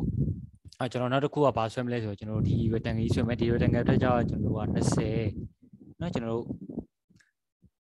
20ကြော်ကြော်ပေါ့နော်ဒီဟာကြီးကအဲ့တော့ဒါကိုကျွန်တော်ဆွဲမှာဆိုတော့ကိုကလိုက်ချိန်မယ်ဗျာဒီတိုင်း draw rectangle နဲ့ကျွန်တော်ဆွဲကြည့်မယ်ဒီဒီဒီဒီထဲအတိုင်းဒီ coordinate point အတိုင်း frame rectangle မဟုတ်ဘဲနဲ့ draw rectangle နဲ့ဆွဲကြည့်အဲအဆင်ပြေလဲပြေတယ်ပေါ့နော်မပြေဘူးဆိုလည်းမပြေဘူးဒီမှာမြင်ရလားအဆင်ပြေတယ်နော် draw rectangle နဲ့ဆွဲကြည့်တော့အဆင်ပြေတယ်အဲ့တော့အထဲအတွက်ပေါ့နော်အထဲမှာလည်းတစ်ခုရှိသေးတယ်အဲ့တော့ဒီအထဲကဟာလည်းဘယ်နေရာမှာရှိနေတယ်တော့20 20တရားမှာရှိတယ်သို့တော့သူ့ရဲ့အလျားတည်30 30ပဲနော်30ဒီမှာတစ်ခွက်ပဲရှိတော့20နှစ်ခွက်ရှိတော့ကျွန်တော်တို့က40ပေါ့နော်20 40ဒီမှာလေ ဒီထဲကဟာအတွက်ဆိုရင်ဒီမှာတစ်ခွက်ပဲရှိတဲ့အတွက်ကျွန်တော်တို့20ယူမယ်အဲအနံကကျတော့ကျွန်တော်တို့ဒီလိုနှစ်ခွက်ရှိတဲ့အတွက်ကျွန်တော်တို့ကျွန်တော်40ပေါ့နော်20 40ပေါ့ဟုတ်ပြီအဲ့တော့ကျွန်တော်တို့ထုံးစံလိုက်တာကိုပြေးလိုက်မယ်အဲဒီတိုင်းပဲကျွန်တော်တို့ယူမယ်နော်သူရဲ့ကိုရိုနီမှတ်ကအလျားကနော်20အနံကကျွန်တော်တို့40ယူလိုက်မယ်အဲဒါဆိုကျွန်တော်စမ်းကြည့်မယ်အဆင်ပြေလားမပြေဘူးဒီတောက်ကိုသွားကတ်နေတယ် နော်အဲသွားကတ်နေတော့ကျွန်တော်တစ်ချက်ကြည့်တာကသူ့ရဲ့ coordinate point ဒီ100ဖြစ်ရမယ်နော်80မဖြစ်ရဘူး1 view မှာ100ဖြစ်ရမယ်အဲတော့ကျွန်တော်1 view 100ဖြစ်အောင်လုပ်မယ်အဲ1 view မှာဒီ80ဖြစ်နေတဲ့ကောင်လေးကိုကျွန်တော်တို့က100လို့ဆွဲထည့်လိုက်မယ်ဒါဆိုရင်ကျွန်တော်ဒီမှာစမ်းကြည့်မယ်ဒီမှာပုံစံလေးပေါ်လာလားရမလားအဲ့ထိရလားအားလုံးလေးဟုတ်အဲ့ဒီအပိုင်းဟုတ်ဟုတ်နော်အဲ့ဒီပိုင်းကြီးရောက်သွားပြီဆိုရင်ကျွန်တော်နောက်ထပ်တစ်ပိုင်းထပ်သွားမယ် နော်ဒီဒီလုံးဝချက်ဆွတ်တရားမယ်ဆိုတော့မဟုတ်ဘူးနော်ကိုဒီဆွဲထားတဲ့အတိုင်းပဲအဲ့တော့ကျွန်တော်တို့နောက်ထပ်ကဒီ left go ပြီးပိုင်းကျွန်တော်ဘာလုပ်မလဲဆိုတော့ right go ပေါ့နော်ဘယ်ဘက်က go ကိုကျွန်တော်ဆွဲမယ်အဲ့တော့အဲ့လိုဆွဲတဲ့အခါမှာသူ့ရဲ့ coordinate point ပေါ့နော် eclipse ကိုကျွန်တော်ထပ်ပြီးတော့ယူမယ်အဲ့တော့ဒီ eclipse ရဲ့တည်နေရာကဘယ်လောက်လဲဆိုတော့ကျွန်တော်စဉ်းစားကြည့်လိုက်တော့သူဒီနော်ကျွန်တော်တို့အဲ200နဲ့မှ နော်200နဲ့မှ20ဆိုတော့200နဲ့မှ30လောက်ရှိမယ်နော်ဒါ220အဲဒါ240 200 260 280ဆိုတော့နော်200နဲ့မှ30လောက်ရှိမယ်သူဒီနော်ဒီနေရာလောက်ဆိုရင်200နဲ့30အဲ230ဒီ one way ကကျတော့ကျွန်တော်တို့က100ပေါ့နော်230 100ပေါ့230 90ပေါ့နော်ဒါမှမဟုတ်ရင်ကျွန်တော်တို့က200နဲ့မှ30 90ပေါ့ဟုတ်ပြီနော်တော့စမ်းကြည့်မယ်ဒါဆိုရင်အဆင်ပြေလားပေါ့ဒီမှာကျွန်တော်ရှိနေပြီ နော်အဲ့တော့အဲ့ဒီဟာကိုမှကျွန်တော်ဗာပြန်လုပ်မလဲဆိုတော့ကျွန်တော်နောက်တစ်ချိန်နော်ဒီတောင်းမှစတူကန်ပိုလီကိုကျွန်တော်ထပ်ပြီးမယ်ဒီနေရာရဲ့ဒီနေရာက200နဲ့မှ40အဲ80ပေါ့နော်200နဲ့မှ240 80သူရဲ့အတိုင်းတာက40 80ပဲဆိုတော့40 80တိုင်းပဲဒါအဲကျွန်တော်ဒီမှာကြည့်မယ်ဒီမှာတစ်ချမ်းရပါပြီနော်အဲ့တော့ဒီဘက်တစ်ချမ်းကလေဟိုဘက်တစ်ချမ်းနဲ့ရှိမှဆိုရင်နည်းနည်းလေးသေးနေတယ်လို့ခံစားရတယ်နော်အဲ့တော့ကျွန်တော်ကျွန်တော်တို့ကဘာလုပ်မလဲဆိုတော့ဒီမှာ 230ဖြစ်နေတဲ့ကောင်ကြီးကိုကျွန်တော်တို့က220ပေါ့နော်ရှေ့ကိုနည်းနည်းတူးပြလိုက်မယ်အဲ့ဒါဆိုရင်ကျွန်တော်တို့ဒီမှာအနီတော်လေးဖြစ်သွားပြီဒီလောက်စီနော်အဲ့ဒီအနီတော်လေးဖြစ်သွားတဲ့ဟာကိုမှကျွန်တော်ကဘာပြန်လုပ်မလဲဆိုတော့ထပ်ပြီးတော့ဒီမှာပေါ့နော်ကျွန်တော်တို့ဒီပုံလေးတိုင်းကျွန်တော်တို့ဒီမှာဟိုအဖြူရောင်ဝိုက်လေးတစ်ခါထပ်ဆွဲမယ်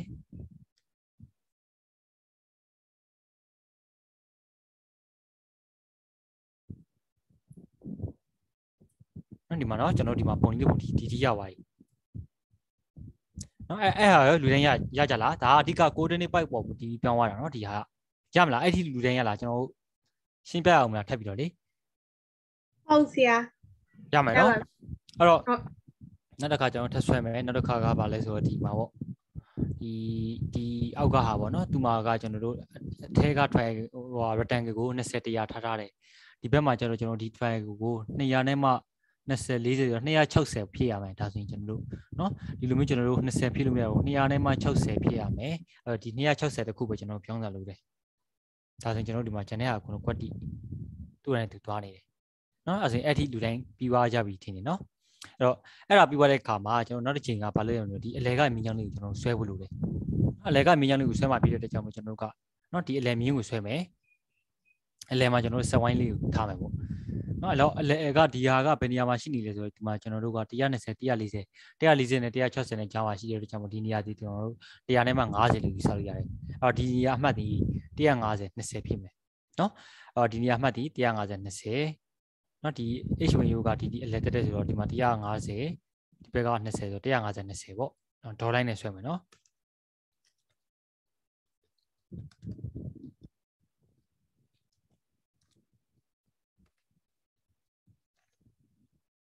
နော်150 20အဲ့တော့နောက်တစ်ခုကျွန်တော်တို့ဒီ line ရဲ့အဆုံးကဒီနေရာနော်ဒီနေရာကကျွန်တော်ဘယ်လောက်လဲဆိုတော့ဒီကောင်ကအဲကျွန်တော်တို့ကဒီကောင်မှာက150သူဒီနေရာနဲ့မှ20နော်150 120နော်ဒေါ်လိုက်ပါလေကျွန်တော်တို့က H1Y1 H2Y2 အဲ့လိုမျိုးဆွဲတာပြီးတော့ကျွန်တော်ဒီလိုမျိုးကျွန်တော်တို့ဆွဲလိုက်တာနော်အော်ဒီမှာကြည့်မယ်ဆိုကျွန်တော်ဒီမှာမြင်ရအောင်ကျွန်တော်တားရတာမြင်ရလိမ့်မယ်ရလားအဲ့ဒါကိုအဆင်ပြေကြမယ်ထင်နော်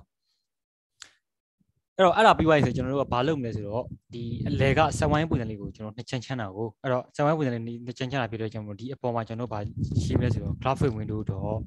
draw eclipse ဆိုတဲ့နော်ဆက်ဝိုင်းပုံစံလေးကိုကျွန်တော်ဆွဲမယ်အဲ့တော့အဲ့ဒီဆက်ဝိုင်းကဒီလဲဆက်ဝိုင်းရဲ့ဒီနေရာကဘယ်နေရာလဲဆိုတော့ဒီနေရာကိုကျွန်တော်တွားရလိုက်မှာဖြစ်တဲ့အတွက်ကျွန်တော်ဒီနေရာဒီနော်ဘယ်နေရာကျတယ်လဲဆိုတော့ HMU 100နဲ့မှ20နော် YMU က100နော်120 100 နော်အဲ့တော့အဲ့ဒါပြီးသွားရင်ကျွန်တော်ဘာထပ်လုပ်မလဲဆိုတော့ဒီနေရာ120နေရာဆိုရင်သူ့ရဲ့နော်အလေယာကဘယ်နှကွက်ရှိလဲဆိုတော့တစ်ကွက်နှစ်ကွက်သုံးကွက်ရှိတဲ့အတွက်ကြောင့်မို့အလေယာကလည်း60နော်စဝိုင်းဖြစ်တဲ့အတွက်ကြောင့်မို့အလေယာ60ဆိုရင်ကျွန်တော်တို့အနံလည်း60ပဲဒါဆိုဒါကိုကျွန်တော်တို့စမ်းကြည့်မယ်မရဘူးဆိုရင်ကျွန်တော်ပြန်ရှုံ့မယ်ဒီမှာကျွန်တော်တို့လိုချင်တဲ့တိုင်ရလာပြီနော်အဲ့ဒီလူတိုင်းရမယ်ထင်တယ်နော်ပုံပြနည်းနည်းပြည်ပြင်းလာပြီအဲ့တော့ဟိုဘက်မှာရေးတဲ့ပုံစံကကျတော့ဘယ်လိုရေးရလဲဆိုတော့ကျွန်တော်ဒီမှာ အဲ center မှာ eclipse ကိုရေးဆွဲတယ်ပြီးရင် draw line နဲ့သွားတယ်တူတူပဲเนาะဒါ coordinate ပိုက်တော့နည်းနည်းကွာပါတယ်ကျွန်တော်တို့ယူလို့24မိယူထားတယ်เนาะသူမှကျတော့ကျွန်တော်တို့မှကျတော့20ယူထားတယ်เนาะထားပါတော့ဒါတော့အဲနောက်ထပ်ကျွန်တော်တို့ corner လေးခုเนาะအနားလေးခုကိုကျွန်တော်တို့ဆွဲမယ်အဲထောက်လေးခုပေါ့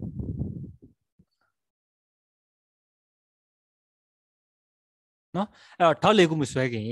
အဲကျွန်တော်တို့ကဘာရင်ဆွဲမလဲဆိုတော့ကျွန်တော်ဒီအပြင်ကအဝိုက်ကြီးဒီအဖြူကြီးကိုကျွန်တော်ဆွဲမယ်နော်အဲ့တော့ဒီအပြင်ကအဖြူကြောင်ကျွန်တော်တို့ဒီ rectangle ကိုဆွဲမှာဖြစ်တဲ့အကြောင်းကိုကျွန်တော်တို့ကဘာနဲ့ဆွဲမလဲဆိုတော့အဲ graphic window တော့နော်အပြင်ကဘောင်ကြီးကိုရင်ဆွဲမယ် draw rectangle လို့ကျွန်တော်တို့ဆွဲလိုက်မယ်ဆွဲလိုက်ပြီးပါရင်ဒီအဖြူရောင်ပေါ့နော်ဒီအပြင်ကအဖြူရောင် rectangle ရှိနေတဲ့နေရာကဘယ်လောက်လဲဆိုတော့ဒီ20 20 20လောက်မှရှိတယ်နော်အတွက်ကြောင့်သူ20ပဲယူလိုက်မယ်ဒီဟာကိုကျွန်တော်တို့လိုလိုပူပူပေါ့နော်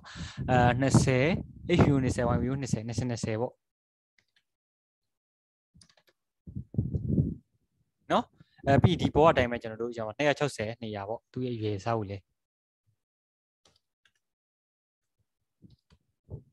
အဲ့လိုယူလိုက်မယ်ဒါဆိုကျွန်တော်စမ်းကြည့်မယ်ဒီမှာကျွန်တော်အပြင်ကအဝိုင်းလေးကိုကျွန်တော်မမြင်အောင်ပြင်မှာကျွန်တော်တို့အဖြော်နဲ့တားရသေးလေအဲ့အတွက်ကျွန်တော်ဒီမှာကျွန်တော်ဘာလို့ယူမလဲဆိုတော့24လောက်ကျွန်တော်ယူလိုက်25လောက်ယူလိုက်မယ်နော် HU 25 YU 25မှာထားမယ်ဆိုပြီးကျွန်တော်ယူလိုက်မယ်နော်အဲ့လိုဆိုရင်လည်းဒီမှာတစ်ချမ်းကနည်းနည်းလိုနေတယ်အဲ့ဒါကြောင့်မို့ဒီတန်ဖိုးလေးတွေကိုကျွန်တော်နည်းနည်းစီလျှော့မယ်အဲ200နဲ့မှကျွန်တော်တို့က60ဆိုတော့200နဲ့မှကျွန်တော်တို့က60နဲ့ 290ဟို200နဲ့မှ55ကျွန်တော်ယူလိုက်မယ်အဲဝိုင်ဝင်ယူလည်းကျွန်တော်တို့က195ယူလိုက်မယ်เนาะဒါဆိုရင်ကျွန်တော်ဘာထူးခြားချက်ရှိတယ်လဲเนาะအဲ့တော့အာဒီဘက်မှာကျွန်တော်နည်းနည်းလိုနေသေးတယ်အလျားမှာနည်းနည်း short ဖို့လိုနေသေးတယ်အဲ့အတွက်ကြောင့်ကျွန်တော်အလျားကိုနည်းနည်း short မယ်အလျားကိုကျွန်တော်ဘယ်လောက် short မလဲဆိုတော့ဒီမှာနည်းနည်းလောက် short မယ်255ဆိုတော့ကျွန်တော်ဒီမှာ250ပဲထားမယ် နော်အဲ YU လည်းကျွန်တော်တို့190ပဲထားမယ်အဲဒါဆိုရင်ကျွန်တော်အဆင်ပြေလောက်ပြီထင်တယ်ဒီမှာနော်အဆင်ပြေပါပြီရလားအဲ့ဒါကိုရမယ်ဟုတ်ရနော်ပါတယ်အဲ့တော့ဒီတောက်ကလေးတောက်ကိုကျွန်တော်တို့တွားထည့်မယ်အဲ့တော့တောက်လေးတောက်ကိုထည့်တဲ့ခါကျရင်လည်းကျွန်တော်တို့ကဒီမှာသူဒီသိပ်မရှိဘူးပေါ့နော်20နဲ့ဒီနေရာကိုကျွန်တော်25လို့သတ်မှတ်ထားတယ်ဆိုရင်သူဒီ5လို့မရှိတယ်နော်အဲ့တော့5လို့ပဲရှိတဲ့အတွက်ကျွန်တော်သူ့ကိုကျွန်တော် HMU 25အဲ 1MU 25ပေါ့အဲ့မှာကျွန်တော်ထားကြည့်မယ် နော်ထားပြီးတော့ပြီးမှတစ်ခုချင်းစီထားပြီးမှကျွန်တော်နေရာလက်ရွှေ့ရရတယ်အဲ graphic window dot dot rectangle ဆိုပြီးတော့ကျွန်တော်ဒီမှာ HWU 20နဲ့မှ9เนาะကျွန်တော် YWU 20နဲ့မှ9မှာထားမယ်အဲသူ့ရဲ့ကျွန်တော်တို့အလေအားက9အနိုင်လဲ9အဲ့လိုထားပြီးတော့ကျွန်တော်တို့ကြည့်ကြည့်မယ်ဘယ်လိုနေလဲပေါ့เนาะအဲ့ဒီမှာကျွန်တော်ထောက်လေးတခုပေါ်လာတယ် နော်အဲဆိုရင်ကျွန်တော်သိကြပါပြီဒါဆိုရင်ကျွန်တော်တို့ဒီနေရာမှာပဲထားရမှာဆိုတော့သိကြပါပြီဟုတ်ပြီကျွန်တော်တို့ဒီ eraser ဆိုရင် okay တဲ့ဆိုတာသိကြပါပြီဆိုတော့ကျွန်တော်တို့ကအနောက်က5 5ကိုကျွန်တော်တို့ကမပြောင်းတော့ဘူးနော်အရှိက coordinate point ၄ခုကိုကျွန်တော်လက်ရှာမယ်နော်အဲရှေ့က coordinate point ကအဲ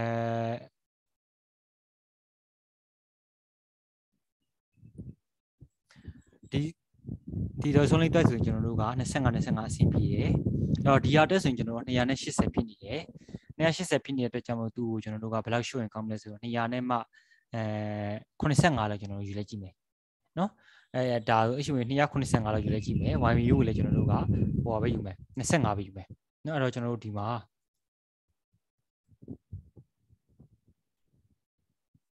ဒီမှာကျွန်တော်280ဆိုတော့ဒီမှာ ဒီ280ကိုဒီတောက်ကိုဆွဲမှာဆိုတော့280ကို9ရှုံမယ်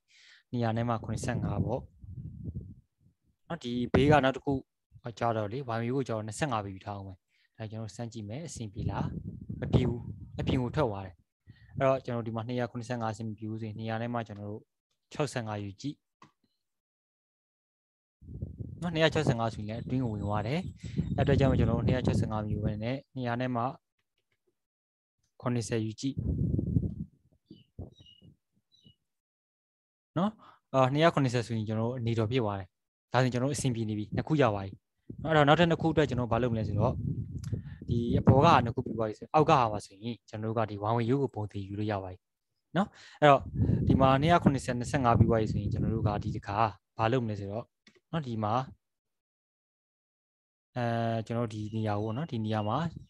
စဉ်းစားမယ်ပေါ့နော်ဒီနေရာမှာကျွန်တော်ဘယ်လောက်ထားမလဲဆိုတော့25ထားမယ် h ကိုနော် h ကို25ထားမယ် အဲ one way ကိုကြာကျွန်တော်ပြောင်းမယ်ပေါ့နော်ဒီမှာကျွန်တော်တို့200နဲ့မှ20ဆိုတော့200နဲ့မှ5ထားကြည့်မယ်ဒါမှမဟုတ်ကျွန်တော်တို့200နဲ့မှ10ထားကြည့်မယ်နော်အဲ့တော့ဒီမှာ25ထားမယ်နောက်မှလိုက်တဲ့ဟာကို200နဲ့မှ10ထားကြည့်မယ် okay လားပေါ့နော် okay တယ်ဆိုရင်လည်းပြီးပြီပဲလေ okay ပါရင်เนาะအဲဆိုရင်နောက်ထပ်ကျွန်တော်ခုကျွန်တော်စမ်းကြည့်မယ်ဒီရှေ့ကဟာကိုပေါ့နော်ဒီတောက်ကမှာဒီနေရာကိုကျွန်တော်တို့ကဘယ်လောက်ထားမလဲဆိုတော့ ခုနကအတိုင်းကျွန်တော်တို့ဒီမှာအပေါ်က280ထားကြည့်မယ်နောက်ပြီးဒီမှာ run ကြည့်မယ်ရလားမြင်တော့မမြင်ရဘူးเนาะအဲ့တော့ဒီမှာကျွန်တော်တို့က200နဲ့မှ80ထားတာတော့ဟုတ်ပြီဒီနောက်ကဝင်ယူပေါ့နော်ဒီ y ဝင်ယူကဘယ်လောက်ထိုင်ကောင်းမလဲပေါ့နော်အဲ့တော့ဘယ်လောက်ထိုင်ကောင်းမလဲသူဒီနော်ဒီနေရာမှာရှိနေတဲ့ကျွန်တော်သူ့ကိုကျွန်တော်230ထားကြည့်မယ်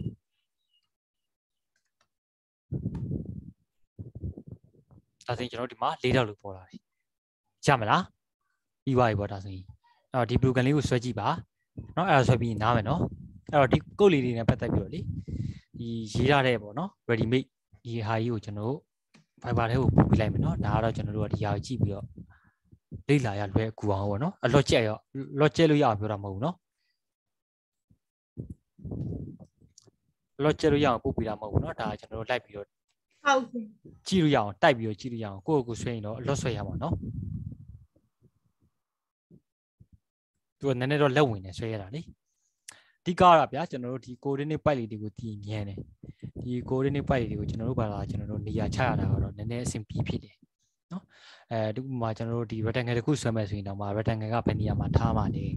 နော်အဲ့ထားထားတဲ့ rectangle ကိုကျွန်တော်တို့ကဘယ်လိုမျိုးနေရာချမှာလဲဘယ်လောက် site site ဘယ်လောက်ယူမှာလဲစသဖြင့်အဲ့လိုမျိုးကျွန်တော်တို့လုပ်နေရသေးတာကို နော်ဒီမှာကျွန်တော်တို့ကတစ်ခုရှိတာကလေခုနကကျွန်တော်တို့ရေးလိုက်တဲ့ program မှာအားနဲ့ချင်းနေနေဘာတွေဖြစ်နေလဲဆိုတော့နောက်ကဒီထောက်လေးတွေပူနေတယ်ပူနေတဲ့အတွက်ကြောင့်မို့ကျွန်တော်တို့ဒါကိုနော်ရော့အောင်ကျွန်တော်တို့လုပ်မယ်ဘာနဲ့လုပ်မလဲဆိုတော့ကျွန်တော်နေရာထားတဲ့ဟာတွေသွားပြီး short ချလိုက်မှာပေါ့နော်အဲ့တော့ဘယ်လို short ချမလဲဆိုတော့ဥပမာ left go မှာဆိုရင်ကျွန်တော်တို့က draw equal နဲ့ဆွဲထားတာကိုသွားလို့ဆရာမလိုဘူး draw rectangle နဲ့ဆွဲထားတဲ့နေရာမှာ ကျွန်တော်တို့က20 80မှာမထားဘဲနဲ့25 80မှာထားကြည့်မယ်နော်ဘာပြောင်းလဲမှုရှိတယ်လဲပေါ့ဒီမှာ25 80ဆိုတော့ဒီမှာကျွန်တော်လောက်သွားပြီအဲ့လိုပဲကျွန်တော်ဒီ25 80ထားထားတဲ့အတိုင်းကျွန်တော်အောက်မှာလည်းကျွန်တော်25ပြောင်းထားကြည့်လိုက်မယ်နော်ဒါဆိုရင်ဒီမှာလောက်သွားပြီပေါ့ဒါဆိုရင်ကျွန်တော်တို့ဒီအဝိုင်းကြီးပေါ့နော်ဒီအဝိုင်းကြီးကိုကျွန်တော်တို့ကဘာလုပ်ဖို့လိုလဲဆိုတော့ပြန်ဖြောက်ဖို့လိုတယ်နော်ဒီအဝိုင်းကြီးကိုကျွန်တော်တို့ကဒီနေရာမှာထားတာဒီမှာပို့နေရလေ အဲ့ဒါကြောင့်မို့သူ့ကိုကျွန်တော်တို့ကဒီ draw eclipse ဆိုတဲ့ဟာကြီးကိုနော်ကျွန်တော်တို့ပြန်ပြန်ပြီးတော့ short ချမယ်နော်အဲ short ချမယ်ဆိုတော့ကျွန်တော်တို့က60 60မထားပဲနဲ့အဲဒီမှာကျွန်တော်တို့ကအလေရားကို50ပြောင်းထားကြည့်မယ်နော်ဘာပြောင်းလဲမှုရှိတယ်လဲပေါ့အဲ50ကျတော့ तू ကတိတ်ပြီးတော့မတိတာတော့ဘူးเนาะအဲတော့ကျွန်တော်60ပဲထားမယ်အဲပြီးသွားရင်ကျွန်တော်ဒီမှာ20 90ဖြစ်သွားတဲ့နေရာမှာ20နဲ့မှ နှစ်ထားကြည့်မယ်အဲ့20နှစ်လည်းအဆင်ပြေသေးဘူးเนาะအဲ့တော့အဓိကတော့ဗျာကျွန်တော်တို့ဒီမှာဒီကောင်ကြီးကိုကျွန်တော်ဖုံးစီချင်တာနော်ဖုံးစီချင်တာဆိုတော့လေအထဲမှာကျွန်တော်ဒီကောင်လေးဒီအထဲကကောင်လေးကိုရွှေ့လိုက်ရင်ဝယ်နော်20ပဲထားလိုက်ကိစ္စမရှိဘူးဒီမှာပို့နေတယ်လို့ယူဆလိုက်မယ်အဲ့ဒါဆိုရင်ကျွန်တော်တို့အစိမ်းရောင်လေးနဲ့ဖုံးချင်ရင်ဒီမှာ25ပြောင်းလဲပေါ့ဒီ frame rectangle ကို25ပြောင်းလဲရင် तू ကနော်ဖြောက်သွားတယ် ဒီမှာဒါပေမဲ့ဒီဘက်ထောင်မှာ तू ကလာပို့နေပြန်ပြီအဲ့လိုဆိုရင်အဲ့တော့လာပို့နေတော့ဒီအဖြူလေးကိုဖျောက်ချင်တော့ကျွန်တော်တို့ကဘာလုပ်မလဲဆိုတော့ဟိုဟာကြီးကိုလေဒီမှာကျွန်တော်တို့ကဒီ frame rectangle မှာเนาะဒီ25ကိုကျွန်တော်တို့က20ပဲပြန်ထားလိုက်မယ်ဒီအလျားကိုကျွန်တော်တို့ကတိုးလိုက်မယ်ဗျာ40နဲ့မှ3လောက် 40နဲ့မှ5လောက်တိုးကြည့်လိုက်မယ်ဒါဆိုဒီမှာပြတ်သွားပြီဟုတ်ပြီနော်အာအတူရှော့ကတော့လေကိုကအကုန်လုံးဆွဲပြီးမှလေအကျန်းပုံအကျန်းလေးပေါ်သွားတဲ့အခါမှာကျွန်တော်လိုက်ပြီးတော့အတူရှော့တွေလိုက်ပြီးတော့လုပ်လို့ရတယ်နော်ဒါတော့ညာဘက်ကကောင်စီတော့ကျွန်တော်တို့ကဘယ်ဘက်ကကောင်စီ5တူတယ်ဆိုရင်ညာဘက်ကကောင်စီကျွန်တော်တို့5ပြန်ရွှေ့ရမှာပေါ့ အဲ့တော့ဒီမှာကျွန်တော်တို့က draw rectangle 240ဖြစ်နေတဲ့ကောင်5ပြန်ရွှေ့လိုက်တော့200နဲ့မှ35ပေါ့နော်နှစ်မှာ235အဲ့လိုပဲကျွန်တော်ဒီဘက်မှာလည်း5ပြန်ရွှေ့လိုက်တော့260ဖြစ်နေကောင်5ပြန်ရွှေ့လိုက်တော့255ပေါ့နော် file shot ပြီးတော့အခါမှာဒီအဝိုင်းလေးကနည်းနည်းလေးအဆင်ပြေဖြစ်နေတဲ့ကြောင့်ဒီဝိုင်းလေးကိုကျွန်တော်ကတိုးပေးလိုက်မယ်အဲ့တော့ frame rate ကနေကျွန်တော်ဖုံးပြမယ်ဖုံးပြမယ်ဆိုတော့ကျွန်တော်တို့ကနော်ဒီ frame rate ရဲ့ဒီနေရာကို အဲပြောင်းမလားပေါ့ဒါမှမဟုတ်ကျွန်တော်ဒီမှာသူ့ရဲ့ site ကိုကျွန်တော်ပြောင်းမလားပေါ့ကျွန်တော်သူ့ရဲ့ site ကိုပဲပြောင်းလိုက်မယ်45လို့ပြောင်းလိုက်မယ်အဲ့လေရအောင်တိုးလိုက်မယ်ပေါ့နော်ဒါဆိုဒီမှာပြတ်သွားလိမ့်မယ်ဟော45လို့ပြောင်းလိုက်တော့ဒီမှာကျွန်တော်တို့ကဒီနောက်ကိုသူကပိုသွားတယ်အဲ့အတွက်ကြောင့်မလို့ကျွန်တော်တို့ကဘာလုပ်မလဲဆိုတော့45လို့ကျွန်တော်မပြောင်းတော့ဘူးနော်ကျွန်တော်တို့သူ့ကို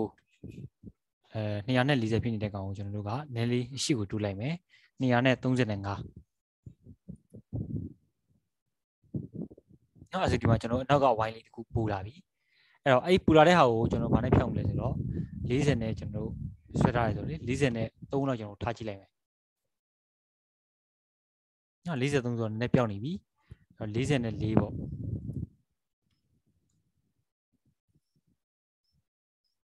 နော်44ဆိုတော့လုံးဝပြောက်သွားတယ်ဒါပေမဲ့နည်းနည်းတော့မတိမတာလေးပေါ်နေသေးတယ်